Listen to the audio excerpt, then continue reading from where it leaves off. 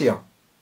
A 29. részhez érkeztünk, és hogyha láttad az előző részt, akkor tudod, hogy a 28. részben arról volt szó, hogy Nabukodonozor király, Babilon királya, akit a Biblia Isten szolgájának is mond, meg aranyfejnek az uralkodása minőségét és a személyisége minőségét tekintve. Tehát ez a babiloni király három lépésben elvitte a zsidóság megmaradt törzsének, Júdának, a déli királyságnak a nagy részét legalábbis a végére, Babilonba, számüzetésbe és 70 évre. Szó volt az utolsó judai királyokról, mennyire nem álltak a helyzet magaslatán, milyen szerepet játszottak ebben az egészben. Az utolsóig, Sedékiásig bezárólag, aki megszegte az Istenre tett esküjét, amit Nabukodonozornak tett. Ez volt körülbelül legutóbb, most pedig a hazatérésről lesz szó, hogy mi történt 70 évvel később, hogyan történt meg mindez. Most is lesz szó királyokról, de most inkább perzsa királyokról lesz szó, majd próbálom őket számba venni, összegezni, de mert erre rátérnék, szeretnék egy szolgálati közleményt közreadni. Valaki megkeresett egy kedves ismerősöm, hogy ő szeretné sorban nézni ezeket az előadásokat, de ő a YouTube-on nem találja fel magát annyira. Én úgy tudtam, hogy a csatornára kattintva a saját hát csatornámon belül lejátszási listára kattintva pontosabban, ott talán sorban kínálja fel, de ha nem így lenne, hadd adjak egy segítséget, hát ha másnak is kérdés. Ez a honlapomnak egy képernyő képe, itt sok-sok fül van nyitva, én így szoktam ezzel, ne foglalkozzatok. a lényeg maga a honlap, amelyiknek van egy fejléce, nyilván van egy központi része, van bal oldalt egy sáv, meg jobb oldalt egy sáv. Itt bal oldalt ebben a sávban a menü alatt jelenik meg az, amiről most szó van, pár percben a Bibliáról itt a sorozatunk címe, és alulról fölfelé növekvő sorrendben megtaláltok sorban, mint egy katalógus, mint egy tartalomjegyzéket, ennek a konkrét sorozatnak az egyes alkalmait, a linkeket. Ha rákattintotok, akkor behozza nyilván a YouTube-ról azt a bizonyos videót, mint ezt a mostanit is. Ugye a 28-ig vagyok meg, mint látjátok, talán látszik a képen, a 29 jön ma. És ha már itt tartunk, hadd ajánljam még, hogy itt vannak az általam leginkább ajánlott tartalmak, amiket én jónak éreztem, ez egy érdekesség különben, hogy a, a nézettség nem mindig igazolja, amit én jónak érzek, az sokszor kevesen nézik meg, és amit nem érzek olyan eltaláltnak, azt meg sokszor egész sokan megnézik. Hát ilyen érdekes ez. A középső mezőben mindig van valami, általában a legutóbbi, itt pedig, hogyha legördíteni, én most ugye nem tudom, mert ez egy jépek kép, itt lefelé ez hosszabban tart, itt főleg videók vannak, de a régebbi alkalmak nyilván inkább MP3-ban vannak rögzítve, itt bő 500 ige hirdetést, előadást láttok, sorozatokat, újdonságok, tehát ilyen rovatokat csináltam. Ha érdekel, ezt is megnézhetitek, de főleg ezért hoztam ezt a képet, hogy itt megtaláljátok a tartalomjegyzégét ennek a sorozatnak, és itt sorban rá tudtok kattintani, akit így érdekelne és nézné. És hát ha mennyit mondtam, hadd mondjam el, hogy hol van a honlapom. Itt van a honlapom, a nevem.hu, így könnyű megtalálni, azt gondolom. Ennyi elég is erről, ezt csak azért mondtam, hát ha másnak is kérdés az, amivel valaki már hozzám fordult. Miről lesz szó ma? E, hát szó lesz arról, amire már utaltam, hogy három lépésben történt meg Izrael fogságra vitele, vagy hát ha úgy tetszik Judáé, ugye mert ez volt a királyság neve, ha izraeliták laktak ott is. E, ez párhuzamot mutat azzal, e, bocsánat, három lépésben fog a, a hazatérés is megtörténni, ami párhuzamot mutat az, hogy az elvitel is három lépésben történt meg. Szó lesz arról, hogy hogyan is indult a Perzsa birodalomban a, a Babilon elfoglalása után legalábbis az ottani kiterjedése és a Perzsa birodalomnak, ugye ők Irán felől jöttek, tehát még keletebbről, hogyan indult be ott minden? A Biblia arról tájékoztat bennünket, hogy ugyan Círus volt az első nagy király, a történelem szerint az abszolút első, Babilon után, mint Perzsa király, a Biblia viszont említ egy Méd Dáriuszt, és hogy ez hogy is volt, erre majd szeretnék kitérni, ez fontos és érdekes. Szó lesz az úgynevezett második templom építéséről. A sátor templomot nem tekintik templomnak, ugye a pusztai vándorlás során az a szétszerelhető szentély volt, arra szem szó volt korábban. Első templomnak a Salamoni templomot tekintjük, azt a kőtemplomot, amit Dávid nem építhetett meg, mert Isten azt mondta, hogy sok vért ontott, de az, a, a a hozzávalókat összehordta Dávid, és ezt rombolták le 586-ban időszámításon került a babiloniak, amikor Jeruzsálemet is úgy általában, és hogy hogyan került sor és mikor szentelték fel a második templomot, ami hát már most hadd mondjam, hogy nem tudta igazán visszatükrözni az elsőnek a fenségességét. Azok, akik elég fiatalok voltak a fogságra vitelkor, ahhoz, hogy még éljenek a 70 évvel később, de emlékeik még voltak az első templomról, azok a második templom felavatásakor a Biblia szerint sírtak, mert hát felidéződött bennük, hogy az milyen más volt, és milyen kár, hogy elpusztult. Ott hangzik egy nagyon szép profétai bátorítás, hogy az lehet, hogy építészetileg az külön volt, de a messiás ebbe fog eljönni, és ez adja a rangját majd a második templomnak. Szó lesz Esdrás személyéről, Esdrás könyvéről, az akkori történésekről, bár most hadd jelezzem, hogy az első visszatérés a három lépésből Cyrus parancsára történik, a második időszámításunk 535-ben minden jel szerint, a második Esdrás idejében 457-ben, tehát jóval később, évtizedekkel később, és a harmadik az Nehémiás nevéhez fűződik, bár ez nem annyira hazatérés, azt nem mondanám, hogy egy tömeges hazatérés volt, egy utolsó fázisa volt ennek az egész restaurációnak, ha lehet így mondani. Ő volt az, aki a falat megépíti. Ha már feltüntettem, hadd jelezzem, hogy Esdrás hazatéréséhez kötődik két nagyon fontos profécia Bibliában, Dániel könyve 8. és 9. fejezetében. Ezeknek az amúgy közösnek, minden jel szerint közös, közösnek tűnő, minden jel szerint közös induló pontját adja meg ez a bizonyos hazatérés, illetve az a rendelet, ami alapján ez lehetségesé vált. Ezeket érinteni fogom, de elmondtam így előjáróban is. Halad az időnk, haladjunk mi is. Királyokat ígértem, még hozzá perzsa királyokat. Az első perzsa király az egy méd király.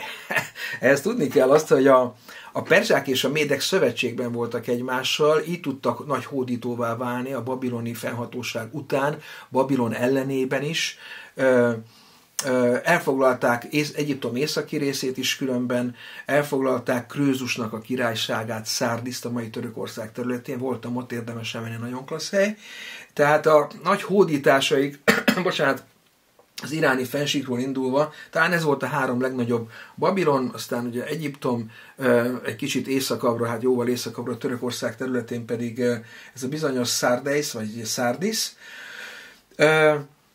Ők ezt úgy végezték el, hogy adott volt egy nagy méd lovasság, és talán egy még nagyobb perzsa gyalogság, szövetségesek voltak, nem csak katonai értelemben, családi értelemben is, tehát rokoni szálak fűzték össze őket, összeházasodtak. Ha akkor jegyzem meg, hogy te csak házas vagy boldog Ausztria, azt már régen is kitalálták az osztrákok csak újra. És bocsánat, amikor elfoglalták ezek a szövetséges csapatok, különben más szövetségesekkel együtt Babilont, ez egy külön csoda volt, tehát egyszer majd erre külön kitérek, hogy hogyan történt Babilon elfoglalása a perzsák által, Cyrus által, akkor a Biblia azt mondja, Dániel könyvében, épp itt a hatodik fejezet elén, ha jól emlékszem, hogy a Méd Darius került idős korában trónra, amit egyébként a történetírás nem ismer, mint tény. Tehát ilyet, hogy a Méd ezt a Méd Darius nem ismeri a történetírás az én legjobb tudásom szerint. Az első Darius, akit ismer a történetírás, az egy másik dinasztia, talán Akhajmenida, ha jól emlékszem, a királyi család, a királyi ház. Tudnék, itt volt egy kihalás, tehát a Kyrosz családja kihalt, és egy, ö, azt hiszem, ha jól emlékszem, ami lóverseny volt a hagyomány szerint a perzsa nemesek között, és aki megnyeri, az lehet a következő király. Darius lett az. Ö, ő az, aki maratonnál olyan csúfosan kikapott, ha emlékeztek a történelmi órákról, és az ő fia, az, ez az a nagy szerszészt, aki már nem fért ide, meg nem most akarom tárgyalni, hanem majd legközelebb, mert a Biblia egy másik könyve, Eszter könyve, az az ő életszakaszához, az ő korához kapcsolódik. A lényeg tehát, hogy az a, Dán, az a Darius, az a méd Darius, akiről Dániel könyve hatodik fejezetében olvasunk, aki a főszereplő abban a bizonyos történetben, hogy Dániát az oroszlánok vermébe vetik, mert csellel csapdába csalják a királyt is a gonosz emberek. Isten megvédi Dániát, a királynak meg van annyi esze, hogy a gonoszokat bedobja az oroszlánok barlangjába Dániel helyett. De ez a bizonyos Médárius az, akit a történetírás nem ismer, a Biblia viszont nevesít ilyen módon. Bocsánat. És Dariusnak az az érdekessége ennek az egész történetnek, hogy Cyruszt ismerve, az ő elérzékenységét ismerve, azt hiszem, hogy neki ez a Médárius, ez nagybátyja volt, ha jól emlékszem, azt egész, vagy Kőaxarész néven most hirtelen nem teszem, melyik a kettő közül, mind a kettő létező személy volt. Círus jellemére val illeszkedik abba a képbe, amit tudunk róla, hogy ő előzékenyen átengedte az idősebb társuralkodónak, aki rokona is volt, a királyságot tekintettel a korára, aki aztán elég hamar meg is hal egy-két éven belül, és akkor valóban Círusra száll a királyság. A történetírás csak annyit tud erről, hogy kb. időszámításunk 538-ban elfoglalták Babilont ezek a csapatok, és rögtön Círuszt kezelik első királynak. A Biblia annyival árnyalja a képet, hogy nem egy-két évig Darius uralkodott, és Círus csak utána. Miért fontos mindez? Azért, mert Círus adja ki első évében, ha jól emlékszem, a rendeletet, hogy hazamehetnek a zsidók, és nem mindegy, hogy ez a rendelet melyik évben volt, nem mindegy, hogy igazolódik a 70 éves fogság ténye, amit a proféciák megfogalmaztak. Még annyit engedjetek meg, hogyha már itt erről szó van, hogy az utolsó babiloni királyra ugyanaz igaz, mint az első perzsa királyra, hogy sokáig nem ismerte a történetírás, de aztán megtalálták, hogy hát tényleg a Bibliának van igaza, hogy a Dániel könyve 5. fejezetében azt a Tivornyát rendező Belcsazár király, aki Nabukodonozornak az unokája volt, ha jól emlékszem, hogy ez egy valóban létező személy volt, és úgy vannak a dolgok, ahogy ott le van írva. Egyszer majd lehet, is külön kitérek. Tehát az utolsó babiloni királyt már tudjuk, hogy mégiscsak igazat mondott a Biblia létezik. Az első mm, perzsa méd király tudnék a méd származású Dárius, de a szövetségben uralkodó Dáriuszt azt még nem igazolta vissza a történetírás, de nincs okunk kételkedni benne, és ha volt és úgy volt, akkor abban sincs okunk kételkedni, hogy Cyrus időszámításunk előtt 535-ben kezdte gyakorolni ténylegesen a hatalmát, és akkor adta ki azt a bizonyos rendeletet 70 év lejártával 605-höz képest. Kambüzés Cyrus idősebb fia volt, meghalt egy csatában, ő is emlékezetem szerint, Nekik volt egy, neki volt egy Smerdis nevű öccse, Cirusnak egy másik fia, aki meghalt, ha jól emlékszem, vadászat közben, és találtak egy alter egót, és elő, előadták őt a Kambüzész halála után bizonyos politikai körök, hogy mégiscsak egy Cirusnak a kisebbik fia, és ő röviden, talán két éven keresztül uralkodott, azért áll Smerdis a neve, mert volt egy igazi Smerdis, és ezt csak kiadták. Annak, valójában egy Bardia nevű trombitorló volt, ez majd fontos lesz a történet szempontjából, azért mondom el. És amikor őt leleplezték, meg azt hiszem, hát segítették nem mesterségesen meghalni, ezek a perzsa uralkodói körök, akkor utána meghirdették azt, hogy kihalván ez a királyi ház, ki legyen a következő, és azt hiszem Akhajmenidáknak hívták ezeket a perzsa uralkodókat, Dáriusnak, Szerszés, most a nagy Szerszés, és így tovább. Azért mondtam el mindezt, mert ebbe kell beillesszük azokat a történéseket, amiket a Biblia elénk tár, és elég logikusan szépen illeszkednek, mint a puzzle. Menjünk sorra. Médáriuszra már nem térek vissza, szándékosan elmondtam az előbb, ami tudható róla, azzal csak a kronológiát próbáltam pontosítani, hogy valóban reális lehet az, hogy 535-ben adja ki Cirus a rendeletet, ugye 559-től uralkodik, de ez nem a babiloni, ugye ezután következik még a hódítás, mondom olyan 538 táján, 535-ben adja ki a rendeletet, 530-ban már nem uralkodik meg, hal. Ugye itt a síremlékét látjátok, ez Paszargadaiban van, ez iráni területre esik, de azon a részen van az biztos mostanában. Itt egy ember alakot látok, ez egy viszonyítási pont a méretekre, itt egy üvegkorlát van körbe, ez egy nagyon szép, egyszerű síremlék. Nagy Sándor meglátogatta a hagyomány szerint, sőt ez feltett szándéka volt, tudnélik, nagyon respektálta az előtte kb. 150 évvel uralkodó, hát nem inkább 200 évvel pontosítok, 200 évvel uralkodó Círus síremlékét. Két nagy kaliber volt az egyértelmű az ókorban, katonai szempontból is, de talán államszervezési szempontból is. Círus mondjuk nemesebb jellem volt, amennyire tudjuk, a feljegyzésekből is, de a Bibliából is, mert, és egy nagyon fontos dolgot mondok, a Biblia Círus név szerint megemlíti. Na jó, hát eddig nem nagy szám, persze, hát mindenki tudja, hogy volt Círus, csak az az érdekessége, hogy Ézsiás könyve 44. fejezet 28. verse és 45. fejezet első verse említi meg, mint egy profétikusan tartalmilag is, hogy majd fogom a kezedet és vezetlek és leütöm az ajtók zárait előtted. Magyarul Isten azt ígérte, hogy jönni fog egy ilyen nevű király, tehát név szerint említi mind a két vers, amit mondtam, és személyesen fogja segíteni a hódításaiban Círuszt. Kicsit olyan, mint Nabukodonozor esete volt, jó, hát azt nem jövendölte meg, de azt mondja, hogy Nabukodonozor ő szolgálja, múltkor mondtam is, hogy ez mi mindenben öltött aztán testet egyértelműen. Círus ugyanígy egy nagyon pozitív uralkodó volt, ők a világ urai voltak, és Isten befolyás alatt álltak, minden jel szerint úgy gondolom bárományosai az Isten országának, jó lenne velük ott találkozni. Csodálatos hódítások fűződnek tehát Cyrus nevéhez, a Bibliának megadja a nyitját, hogy ez az Isten akarata is volt, hogy egy ilyen valaki és ez a hatalom váltsa Babilont. Ugye a Babilonról úgy szól a profécia, hogy te vagy az aranyfej, mondja a királynak, aztán a következő párhuzamos proféciában elmondja, hogy oroszlán szíve van, szárnyas oroszlánra hasonlít Babilon, de aztán kitépetnek a szárnyai, emberi szívadaték néki, két lábra áll, és egy ilyen ö, tivornyázó unokával ér véget a birodalom Dániel könyv 5. fejezete, tehát egy, egy zuhanás van a birodalmon belül a történelmileg, és akkor jönnek a perzsák, akik ennél különbek. És ott is egy nagy kaliber kezdi, korábban ugye Babilonban Nabukodonozor, itt Círus, a perzsa uralmat, ő a lelkiismereti szabadság adja az ókorban, tehát nem erőltet a népekre vallást, tehát egy abszolút pozitív személyiség, és Istentől megáldott személyiség és uralkodó. Hát nem igazán hosszú ideig uralkodott, ez az egy szomorúság van ebben.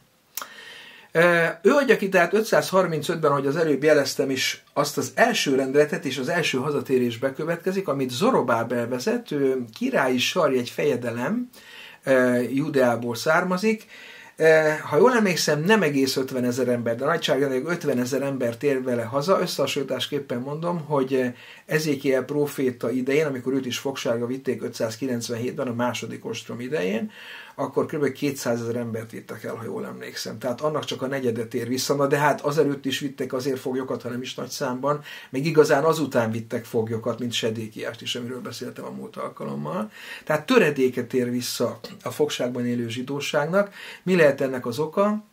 Hát azért 70 év alatt abba születnek bele nemzedékek, meg beilleszkedtek. Volt is ilyen tanács, Jeremiás mondta, hogy nehogy szabotálják a babiloniak életét, Isten akarata ez a büntetés, illeszkedjenek be, igyekezzenek a városnak a jólétén, ahova vitettek, így Jeremiás. Hát ők igyekeztek, annyira, hogy már nem is nagyon szívesen jöttek volna vissza, ugye ki szeretne visszamenni romokat újjáépíteni.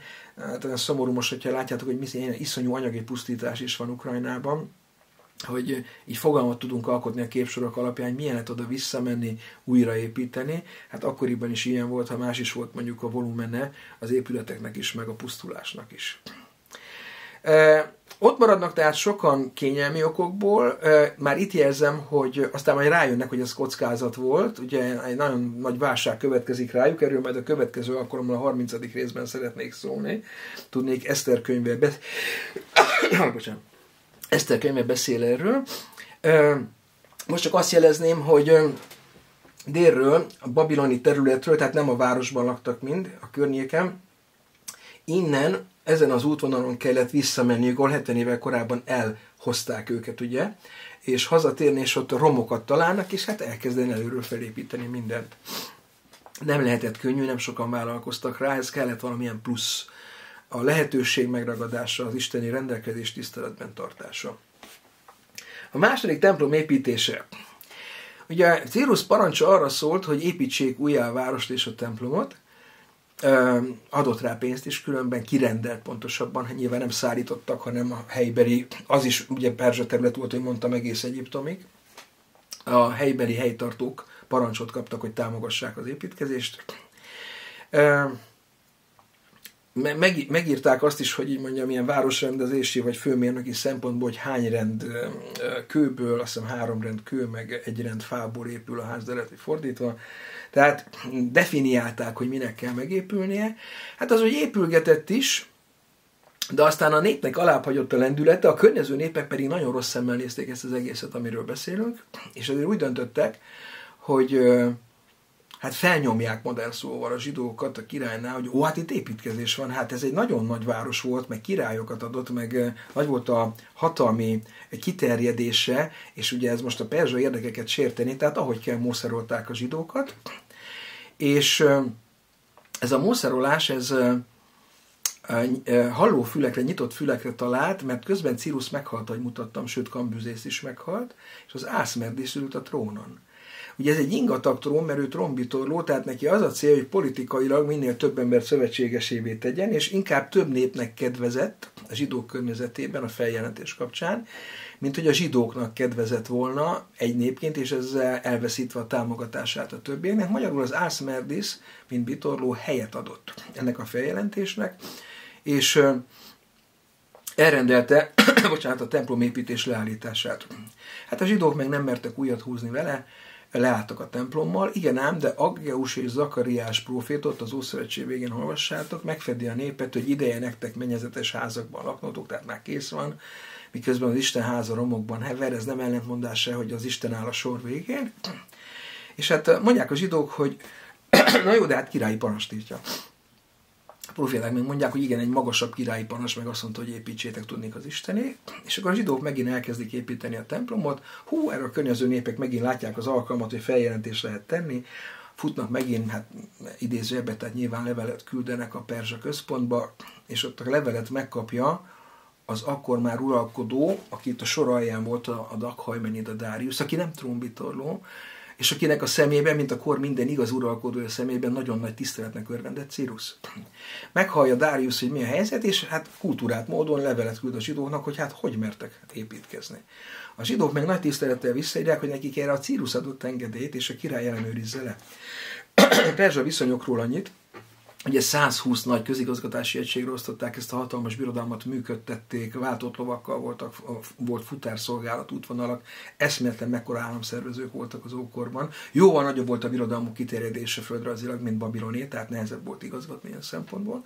És nekem nagyon imponál ez a történet, amikor oda jutunk, hogy hát nézze meg a király a levéltár, hogy úgy van és képzeljétek el, volt Perzsa levéltár, megkeresték, és megtalálták a rendeletet Círusért, és azt mondta Darius, hogy ja, Hát, hogyha ezt Círus engedélyezte, ez egyrészt törvényes, jogos, másrészt, hogy ezt Círus engedélyezte. Szóval ez egy nagyon nagy dolog, hát eh, nagy respektje volt, mint mondtam, Círusnak.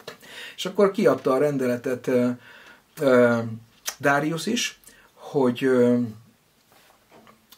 a, mindjárt nézem, igaz, ezt Ezrástól idézem most lehet, hogy kicsit zavarba vagyok, hogy ez most az ő rendelete, vagy a következő, ezt nem néztem meg alaposan, de nagyon markáns a rendelet, hadd idézem, Esdrás 6.11-ből.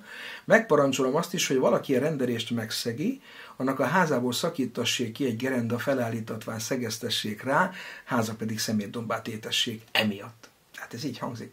Tehát azt mondja a perzsa uralkodó, hogy ha valaki még egyszer szembe megy a perzsa rendelettel, ami a zsidók újjáépítésére vonatkozik, a Jeruzsálem, a templom és a zsidóság restaurációjára, akkor azzal az emberrel nem cicóznak. Ezek ilyen határozott népek voltak, meg nagy tömeget nem lehetett máshogy. Azt mondja, aki ezzel szemben megy, ezt megszegi, annak kiszednek egy gerendát a házából. A házak ilyenkor össze szoktak dőlni, hogyha normálisan vannak felépítve. Felállítják a gerendát, és az illetőt rászögezik csak azért is mondom, hogy a perzsák találták ki a keresztrefeszítést, de először csak egy póznára, az lett úgymond tovább fejlesztve, szörnyű ezt a szót mondani, görög kereszt ez a tau, vagy latin kereszt formára, ahol túlnyúlik a függőleges része vízszintesen. Tehát ezek voltak a különféle formái ennek. Húsvétkor szeretnék erről majd az érdi gyülekezetben tartani egy ábrákkal illusztrált előadást, ajánlom figyelmetekbe, majd belinkerem ide, ha már oda jutottam. Szóval ezzel visszábettek a környező népek ellenségeskedéséből, és 516-ra elkészült a templom. Na most nagyon sokan azt mondják, nem tudom sokan de vannak akik azt mondják, hogy 586-ban rombolták le tény a templomot, az elsőt, a második elkészült 516-ban, akkor ez az a bizonyos 70 év. Szerintem nem.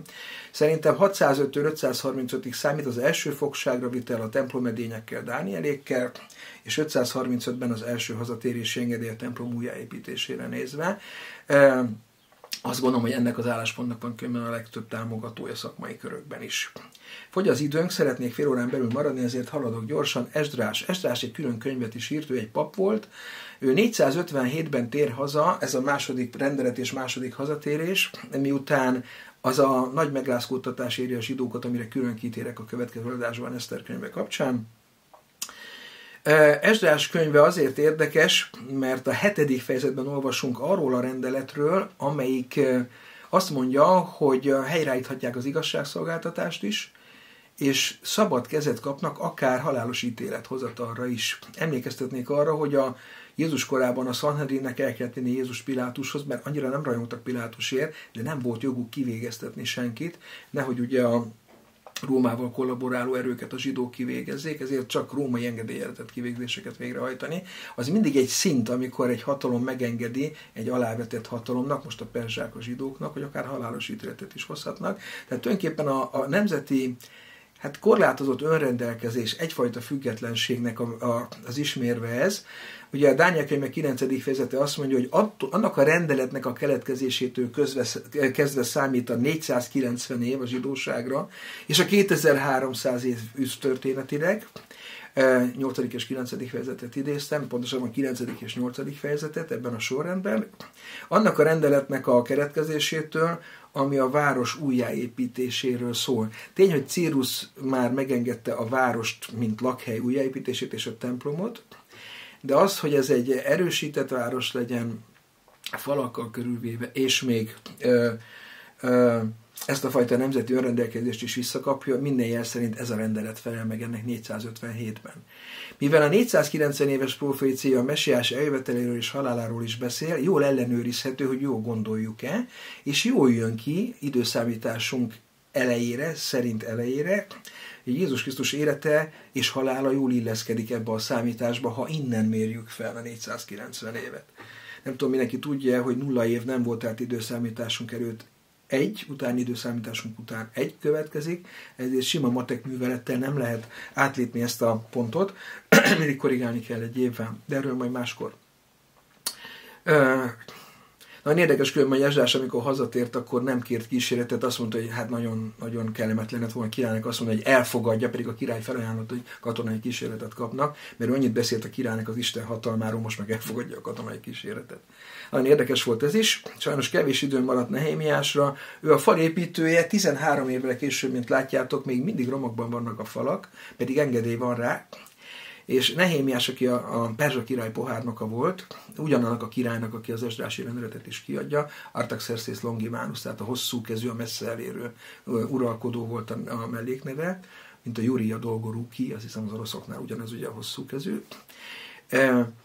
Őt foglalkoztatta az ügy Nehémiást, imádkozott, a király felismerte azt, hogy valami bánat van, a félt, hogy esetleg valami merényletre készülnek általa, rákérdezett, mondta, hogy ez a baja, hogy ott van a városa, és romokban van még a fal, nincs védve, hazaküldte a király, hazaengedte, Nehémiás elment, hát fantasztikus milyen ember volt, bejárta körbe titokba, felmérte a munkát, aztán megszervezte, maga is dolgozott, saját költségen is fenntartott ott embereket, kiosztotta a falszakaszokat a népesség között, hogy ki melyiket építi, 50 valahány nap alatt megépítették a város védműveit.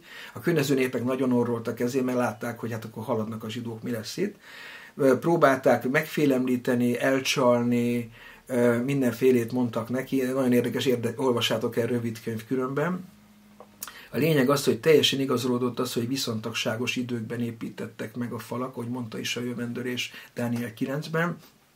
Tudnélik, úgy építettek, meg úgy aludtak, hogy fegyverbe voltak, meg, meg kard volt a kezükbe, tehát fenyegetettségben éltek. Nagyon érdekes, amikor Nehémiás azt mondja, hogy féltünk, ezért imádkoztunk és őrséget állítottunk. Tehát ez, az, ez a hívőmek az attitűdje, hogy nem azt mondja, hogy mindent az Isten csinál, nekem is kell, de nem mindent én csinálok, mert Isten nélkül úgy se ér semmit. Nagyon sok tanulság van ebben a történetben, de erre már nem tudok kitérni ajánlott könyvek, király krónika könyve idevágó részei, az Ézsaiási helyek, amiket mondtam, Dániel könyve, főleg a 8.-9. fejezettel kapcsolódik ide közvetve, Ezrás, Nehémiás két rövid könyv, olvassátok el, nagyon érdekesek, olvasmányosak, Aggeus és Zakariás proféta könyvei is elég rövidek. És legközebb, hogy ígértem, Eszter könyve.